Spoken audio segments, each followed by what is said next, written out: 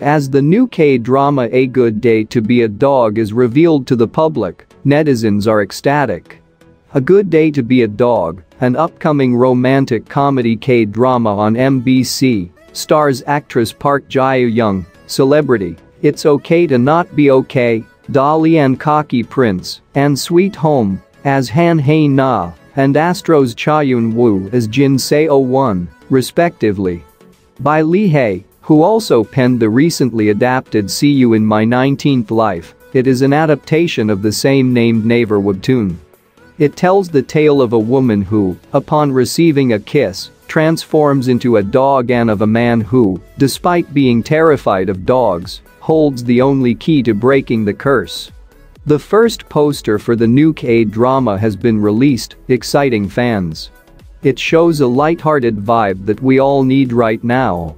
Additionally, a teaser trailer was spotted at International Broadcasting Video Marketing 2023. Another preview clip has also circulated on social media.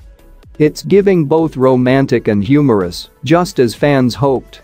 Netizens are also excited about the lead actors Eunwoo and Park Gyu Young's reunion.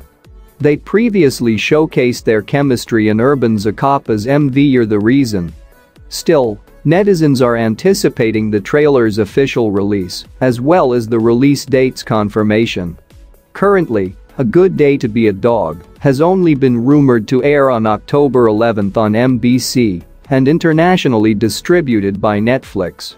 Due to a family curse, teacher Han Hae Na turns into a dog at midnight for six hours after kissing someone. This transformation repeats itself until they kiss the same person.